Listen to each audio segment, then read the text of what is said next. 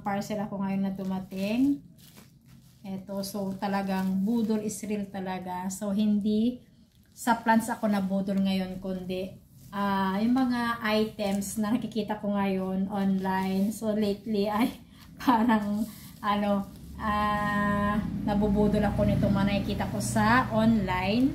Pero ano naman, ito namang mga ano, mga binibili ko online ay mga nagagamit magagamit naman dito sa bahay. And itong dalawa na to ay ano itong isa ay para sa kuya ko to kasi nga ayan malapit na ang Father's Day. So ayan uh, ito yung aking ireregalo sa kanya. So maganda to. So meron akong ganito guys. So ganito din naman yung naisip kong ibigay sa kanya kasi mahilig din siya sa mga ano ba, mga wooden craft, ganyan. Ayan. So, ito ay ano to guys, um, wood calendar. So, uh, meron ako nito. Nakailan ko lang din na, na bili online. So, ayan, ito yung naisip kong ibigay sa kanya. Ayan, so hindi muna plants ngayon ang aking um, i-vlog. So, ito naman yung gusto kong i-share sa inyo.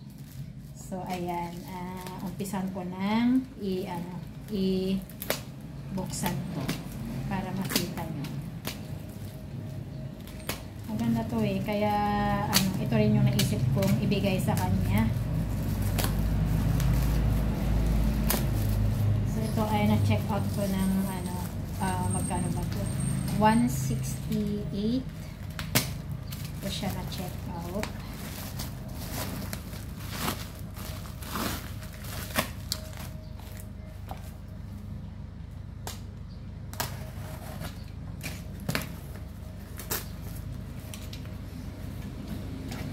And pwede pa itong ano, um, barnisan ng yung ano, uh, natural na varnish para mas gumanda.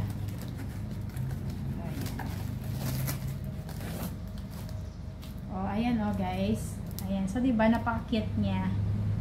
Ayan. So, ganito din yung sa akin. Maliit lang siya.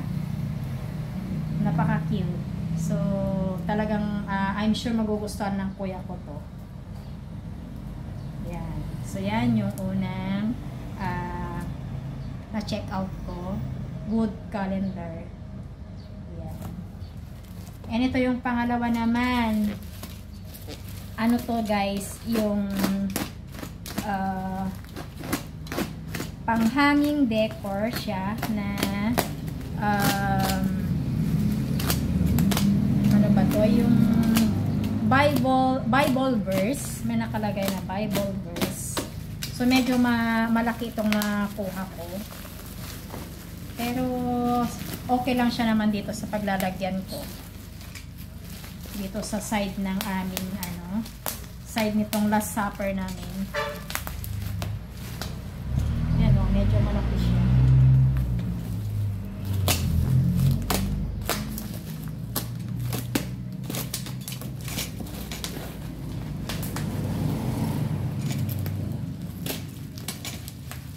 Maganda naman ang pagka ano niya, pagka pack.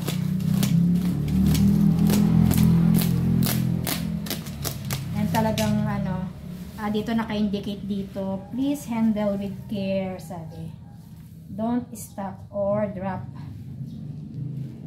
May nakalagay na uh, fragile. Yan. Para hindi masira. Kasi nga ano din to uh, wood din ang material. Tignan natin sa to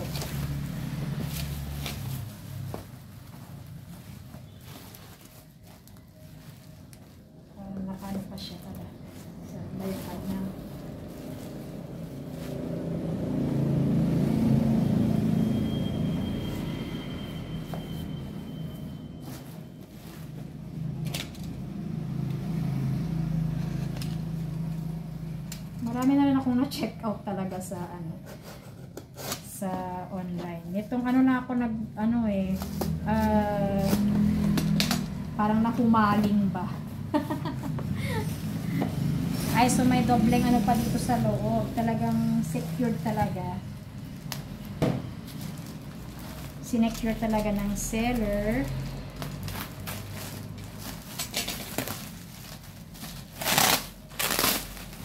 May bubble wrap pa ulit.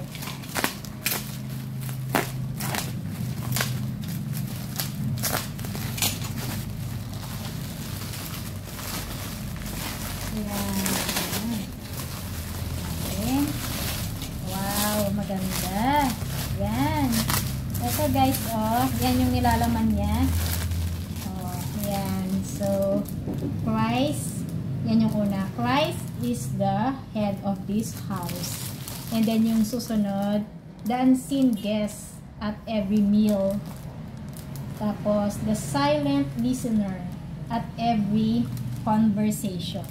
And sa last naman, But as for me and my household, we will serve the Lord. Ayan. So, yan yung nakalagay. So, kaya ko siya nagustuhan.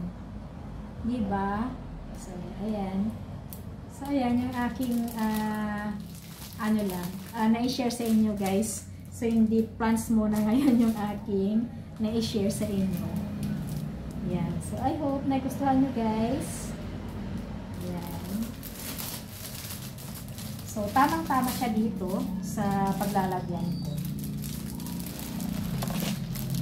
So, ito na yung ah, pagsasabitan ko guys. So, ito. Magkano bang bili ko dito? Anim na piraso. 47 yata to. So, dito ko siya ilalagay oh. Diyan, malapit dito sa ano, site ng ano, last supper namin. Diyan, diyan ko siya ilalagay. So, ayan na guys. So, nilagay ko na. So, ayan. Gusto ko rin kasi yung may ganyan, nakasabit na, ano, nababasa dyan na Bible verse. Ayan. So, okay na. So, ito ang haba nito guys ay ano, 17 and a half inches yung haba nito. So, malaki siya kitang-kita, basang-basa yung mga nakalagay dyan. So, maganda rin siyang pang-gift talaga. And kahit yung isa kanina yung uh, wood calendar. Perfect na pang-regalo. Diba? Ayan. Ayan, perfect siya dyan talaga sa pinaglagyan ko. And then, yan naman sa, yun naman yung aking uh, corner shelf. Ayan, naka, na lalagyan na ng mga uh, halaman ko. Ayan. So, perfect.